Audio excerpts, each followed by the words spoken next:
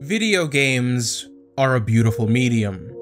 In their worlds of ones and zeros, they offer a unique opportunity. Games make us a part of something. Every game could be considered a puzzle, some letting us unravel the lives of other people. I like games about people. Today, I'd like to talk about the best game ever made.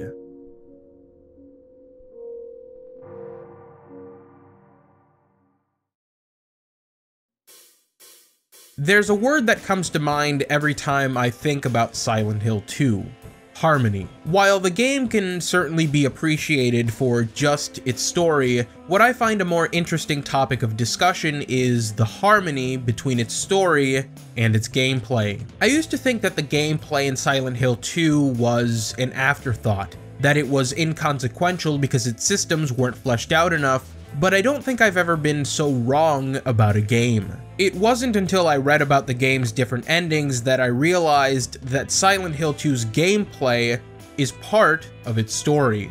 That the way you play Silent Hill 2 determines not only the fate of James, but who James really is.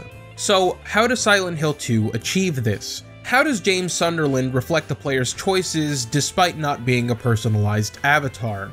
And just how does Silent Hill 2 create a story so impacted by its gameplay while it presents the same story to all of its players. It all begins with Silent Hill 2's reason to play. The game opens with James Sunderland arriving in Silent Hill after receiving a letter from his late wife Mary. Video games, now more than ever, try to engage players in countless ways, sometimes with excitement, sometimes with shock, a game's opening is meant to suck the player in, but no game does this as easily as Silent Hill 2. It's an impossible premise. After all, a dead person can't write a letter. The idea of a loved one sending you one last piece of themselves or the chance for closure, however unlikely, doesn't just create intrigue, it demands it. The game's premise is also the first look into its protagonist, James, we know nothing about him besides the fact that he wants to believe this letter is real and has traveled to this town to find out if it is. This opening is a one-two punch that immediately gets what it wants from the player. You both relate to James's situation and sympathize with him.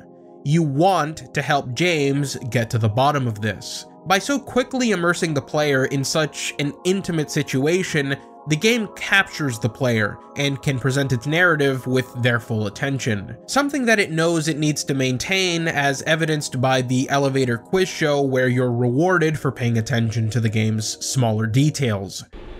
What was that? This level of control is important for the game for a number of reasons. The presentation of its story needs to be neutral for gameplay and ambiguous for story, at the same time. It's impossible to tell a story like the one in Silent Hill 2 without ambiguity. The bridge on this journey is severed, for example, if Laura is less subtle about having known James before he enters Silent Hill. What's a little girl like you doing here anyway? Huh? Are you blind or something? It drip feeds the player information to keep them going, but what it does in between these segments is the magic. It will present elements like characters, situations, or paradoxes, and then let you determine what's happening, but more importantly, how to interpret it. The game creates a story that is impacted by gameplay by letting the player free after these moments of intrigue.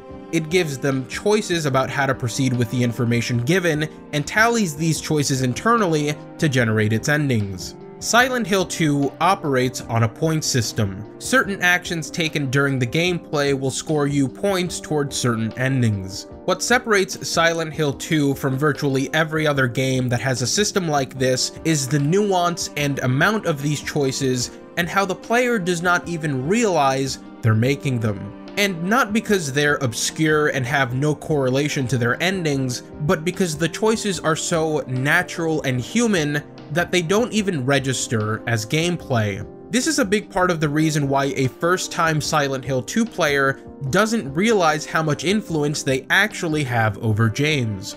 You cannot go into a character creator and make James. However, you can make James do things that make him a different person. Though there's numerous combat systems and character-based choices that achieve this in the game, the first example I want to focus on is when James meets Maria.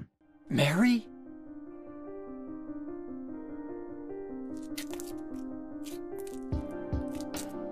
No, you're not.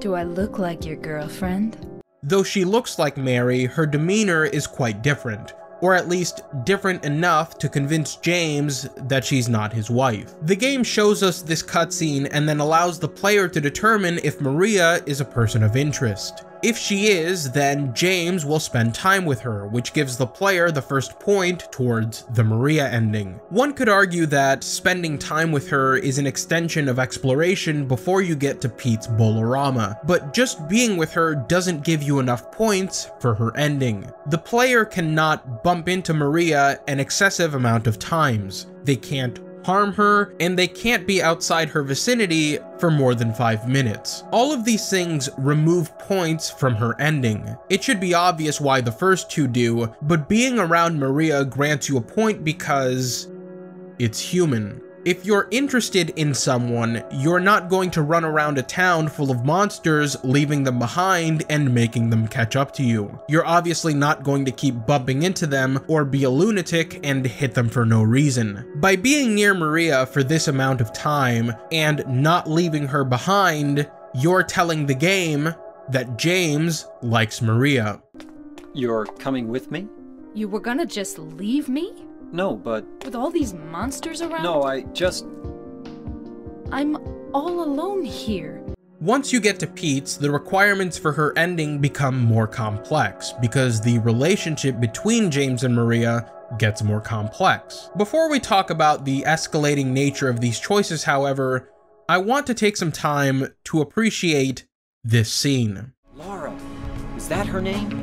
That's what she said. This town is full of monsters. How can you sit there and eat pizza?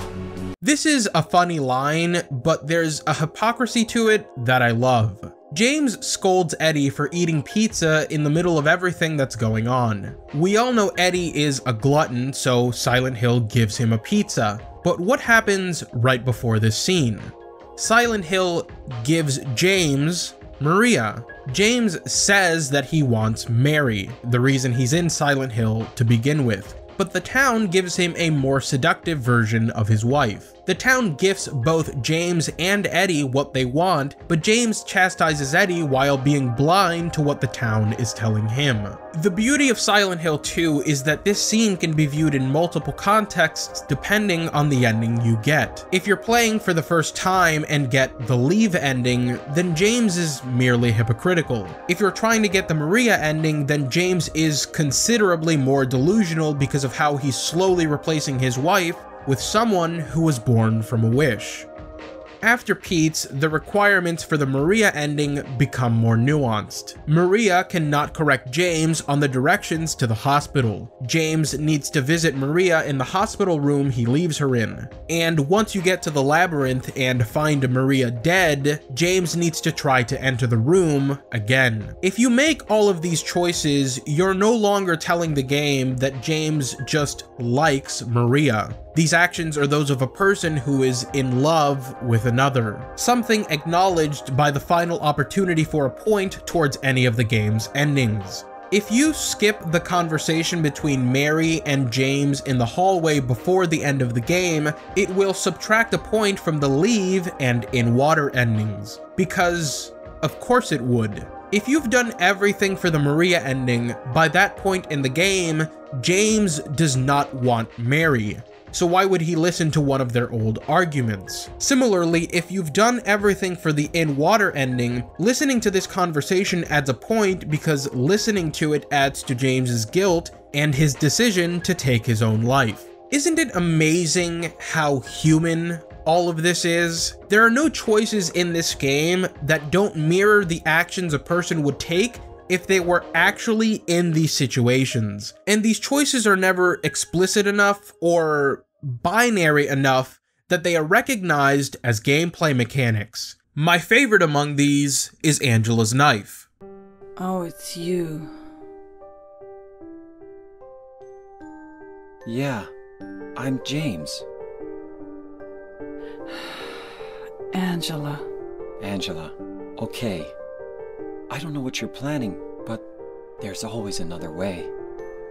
This cutscene establishes Angela's knife as an object with suicidal connotations, so if you examine the knife in your inventory, it adds a point for the in water ending. It tells the game that you might be contemplating suicide, just like Angela was, as literally and physically examining a knife in this context would suggest. It's so simple, but this is how the game reflects player choice in James. It even does it through combat. Being reckless in the game and not healing James often tells the game that he has little regard for his own life giving you a point for in water. Healing over 200% of your health tells the game that James has a reason to live and gives you a point for leave. There are no wasted mechanics or moments in Silent Hill 2, which is why the game feels like one continuous experience. It's a game segmented by what every other game is segmented by, but because everything outside of its gameplay feeds directly into it, one never feels like the game is actually split up by these things. And because the gameplay affects the story immensely, its six different endings result in six different playstyles. You may still be asking, how does the gameplay affect the story if it's the same story, but only the endings are different? This is simple. I've seen great deliberation through the years about what the canon ending of Silent Hill 2 is. Everyone has their own interpretations of how James would deal with his guilt over killing Mary, but the mistake most people make about the endings is assuming that there's only one James. What is the canon ending of Silent Hill 2 is the wrong question. The right question is, who is the canon James? Is the canon James the one that leaves Silent Hill with Laura after forgiving himself? Or is the canon James the one that succumbs to his guilt? Is it the one that replaces Mary with Maria? Or the one that is so unable to move on that he tries to resurrect her? These are all different people. The choices James makes to get to one ending directly contradict choices made in others. The endings don't happen in a vacuum. The player's guidance of James makes him a fundamentally different person from the second he leaves the bathroom at the start of the game.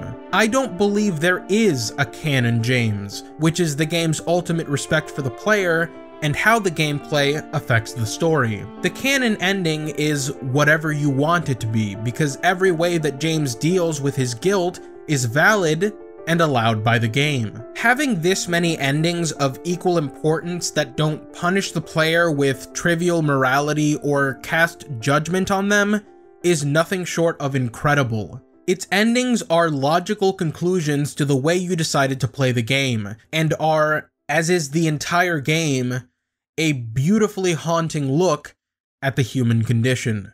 You know what I heard? This whole area used to be a sacred place. I think I can see why. Ah, it's too bad we have to leave. Please promise you'll take me again, James.